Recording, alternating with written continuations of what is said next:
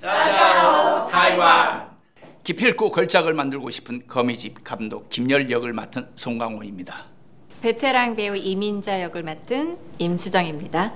바람둥이 톱스타 강호세 역을 맡은 오정세입니다. 재촬영을 밀어붙이는 신성필님, 후계자 신미도 역을 맡은 전여빈입니다. 떠오르는 스타 한유림 역을 맡은 정수정입니다. 노장 배우 오여사 역을 맡은 박정수입니다. 거미집 제작자이자 신성필름 대표 백회장 역을 맡은 장영남입니다. 드디어 영화 거미집이 개봉합니다. 꿈도 예술도 검열당하던 시대, 결말만 다시 찍으면 걸작이 된다는 믿음을 가진 김 감독과 예측 불가한 스토리 속 매력적인 캐릭터들의 유쾌하고 신선한 앙상블.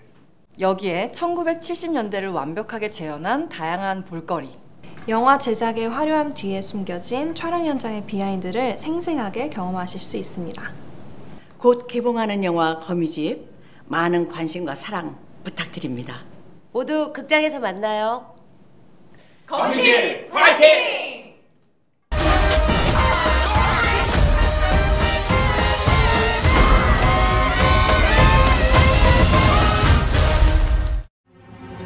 감독님 그 체제 이런 거 아니야 임마 다 바뀌었어. 이걸 어떻게 하루에 다 찍어?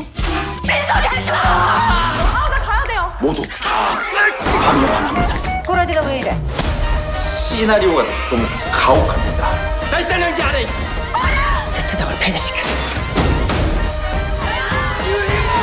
김감독 현장은 막장의 콩가루. 오케이